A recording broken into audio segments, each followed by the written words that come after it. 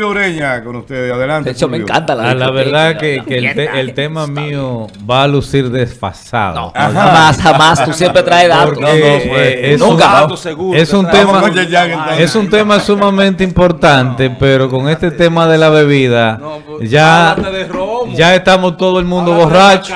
De de de ¿Qué es esto, Dios?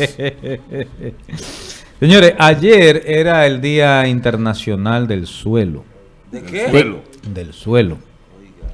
¿Por qué darle importancia al suelo? Porque el suelo es lo que nos da a nosotros la oportunidad a los cultivos, la oportunidad a producir los alimentos que nosotros tenemos. ¿Y por qué la Organización de las Naciones Unidas y por qué la Organización de la Alimentación y por qué las agencias de cambio climático le dan importancia a esto? Bien, resulta que se está degradando. Por cada dos, un centímetro de suelo,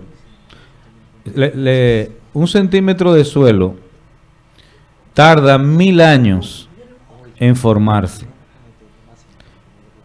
Y la erosión pues lo agota, lo destruye, se va y todo se acaba en poco tiempo.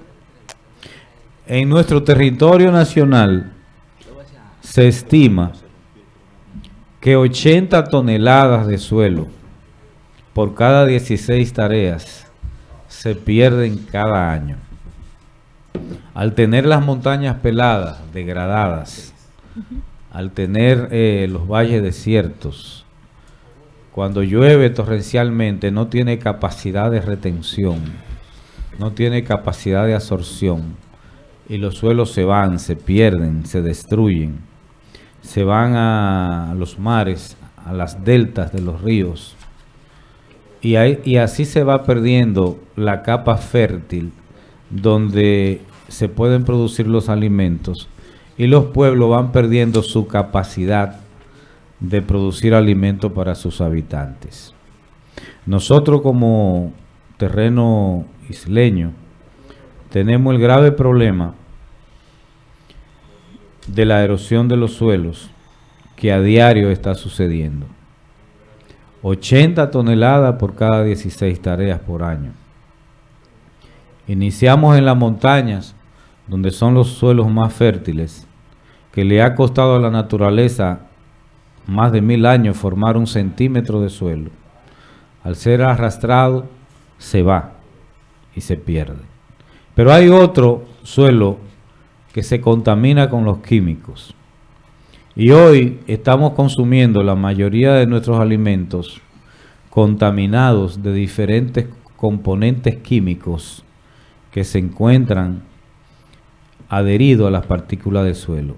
Un centímetro cúbico de suelo puede albergar billones de bacterias. Y así se pierde también la vida en ese suelo.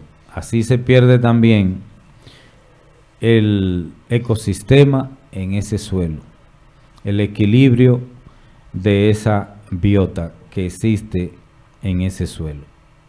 Nosotros como nación no hemos tomado medidas. Hay una serie de medidas que son necesarias para mantener el suelo. Y protegerlo es para nosotros y debe de ser una prioridad. Primero, la agricultura de montaña debe estar dada por especialistas, por agricultores conocedores de esta realidad y que usen práctica de suelo, de conservación de suelo, adecuada al porciento de inclinación que tenga ese terreno. Y también el uso de los productos que se usan en esas áreas también deben de estar reguladas por los organismos especializados en este tema. Hoy nosotros tenemos cerca de 20 millones de tareas de tierra que se cultivan y de ellas tenemos más de 17 millones de tareas altamente contaminadas con químicos.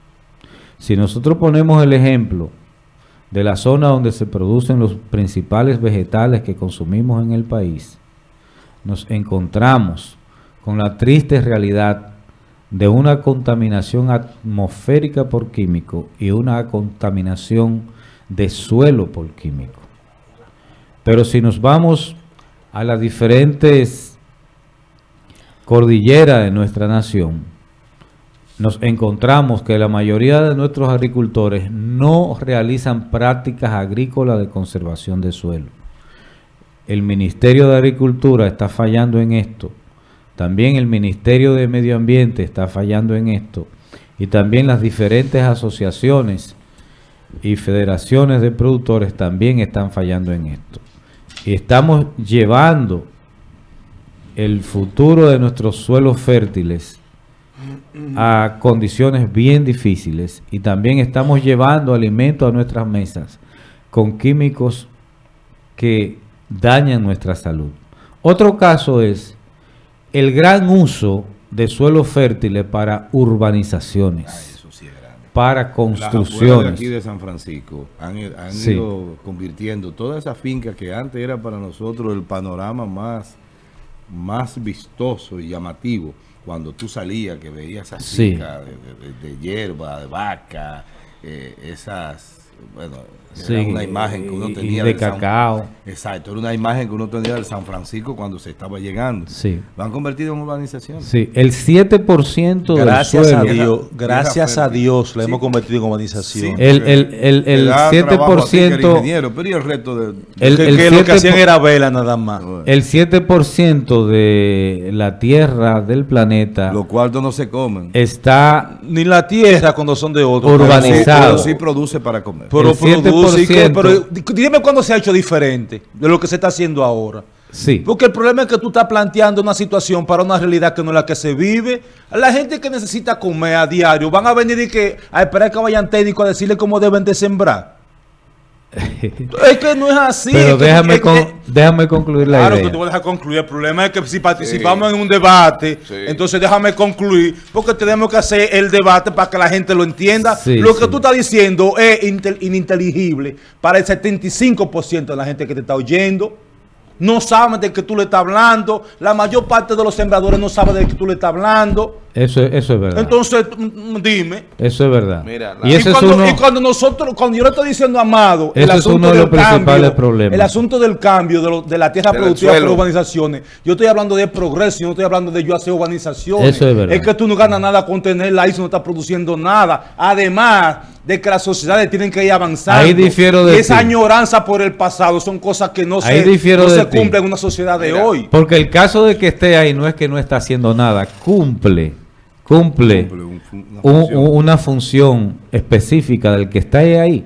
Ya con eso cumple una función específica de control de equilibrio natural. Obviamente. Pero que la vida no es solamente eso, hermano. Claro que no. Claro, Mira, claro ¿verdad? que no, la naturaleza tiene En que estar hecha para el individuo, no el individuo Sí, para la naturaleza. Pero va combinada. Claro, pero hay que hacerlo, tú tienes que crecer para alguna parte. Sí, ahí es Lo que yo importante es que se haga de manera programada, Sí. pero tiene que hacerse, tú tienes que crecer. Mira, ahí- no ahí- en un sitio y "Ah, no, porque eso era de cultivo, no puedo usar la tierra. Ahí voy, ahí voy.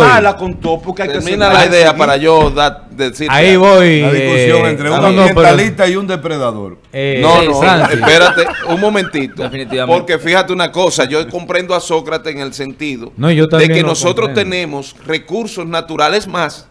Las naciones tienen obligatoriamente que poseer un inventario de su riqueza híbrida, tierra, vegetación, costa, mina, Sí, sí.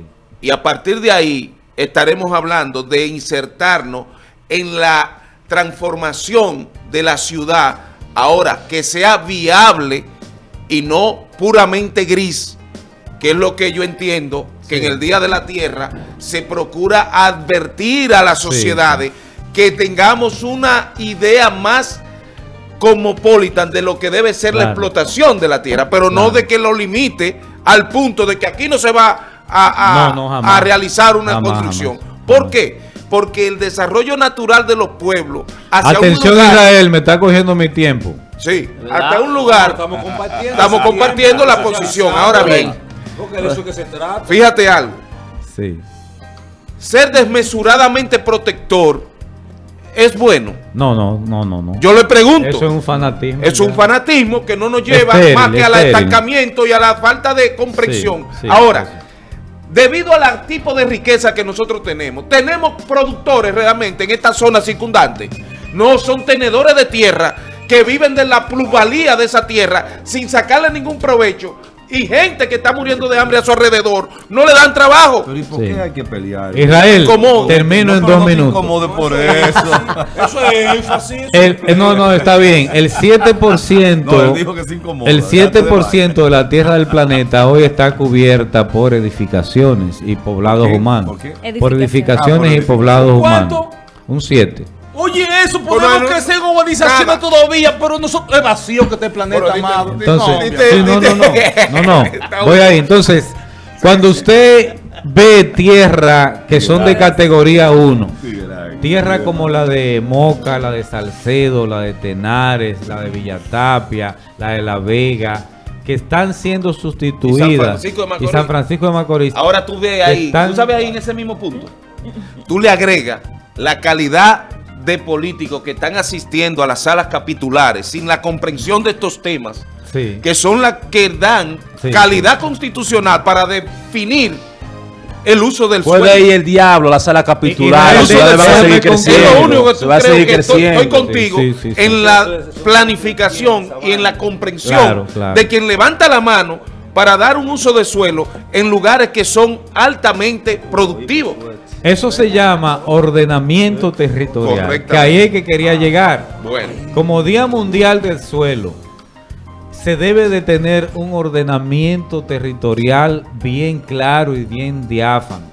Hay áreas que son áreas reservadas para producir alimentos por su calidad.